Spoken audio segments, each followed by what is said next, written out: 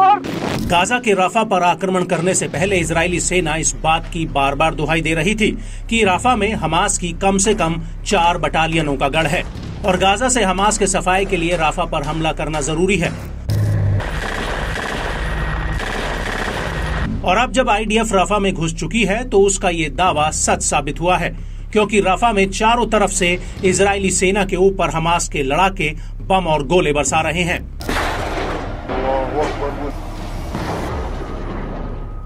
दरअसल हमास की सैन्य शाखा अलकासिम ब्रिगेड ने रफा बॉर्डर क्रॉसिंग के पास आईडीएफ के ऊपर कई राउंड्स मोटर गोले दागे हैं और अलकासिम के साथ अलकुज ब्रिगेड भी आईडीएफ के ऊपर टूट पड़ी थी।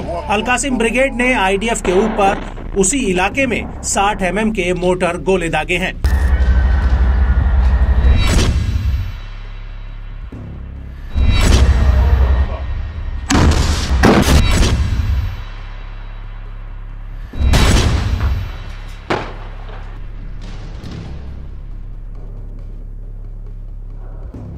इसके अलावा इजरायली फौज पर बड़े कैलिबर मोटर गोलों से भी हमला किया गया है।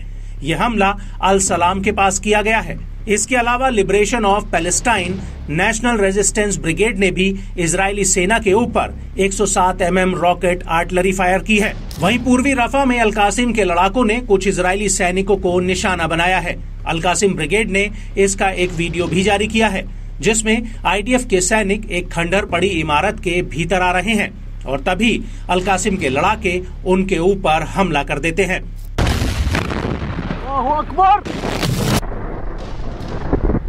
और इसी वीडियो में दिख रहा है कि कैसे दूर खड़े आईडीएफ के मेरकावा टैंक पर भी अलकासिम के लड़ाके रॉकेट लॉन्चर से हमला कर देते हैं जिसमें जोरदार धमाका होता है।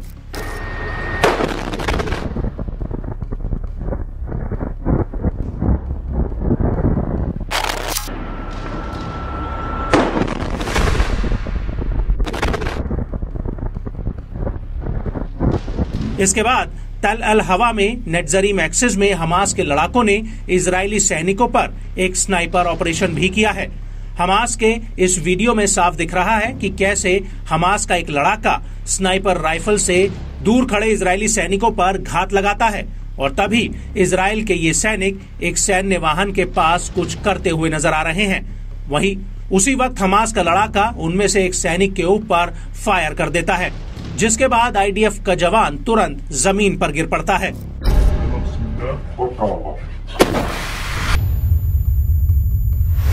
नेटजरीन के अलावा अल तकद्दुम एक्सिस और अल जायतून में अलकुज ब्रिगेड ने भी इजरायली सैनिकों पर एक बहुत बड़ा हमला किया है। यहाँ पर एक बिल्डिंग में इजरायली सैनिक पोजीशन लिए हुए थे। तभी उनके ऊपर हमास के लड़ाके दनादन रॉकेट फायर कर देते हैं।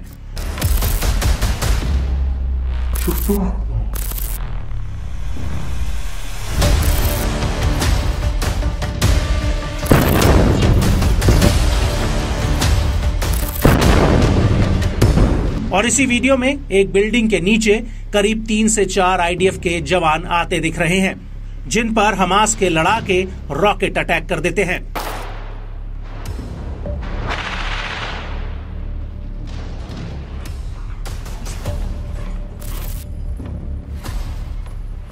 इसी वीडियो में हमास के कुछ लाके लॉन्चर्स में रॉकेट भर भर कर दागते हुए नज़र आ रहे हैं।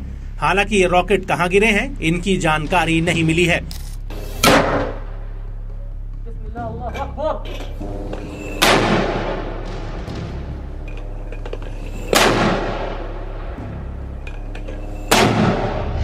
इसके बाद जबालिया कैंप में तो हमास ने इसराइल के दो टैंकों को एक झटके में उड़ा दिया। हमास ने इसका एक वीडियो भी जारी किया है। हमास के इस वीडियो में साफ़ दिख रहा है कि कैसे हमास का लड़ाका एक घर के भीतर छिपकर सामने से गुजर रहे आईडीएफ टैंकों पर दनादन दो बार रॉकेट दाग देता है। जिनमें जोरदार धमाका होता है।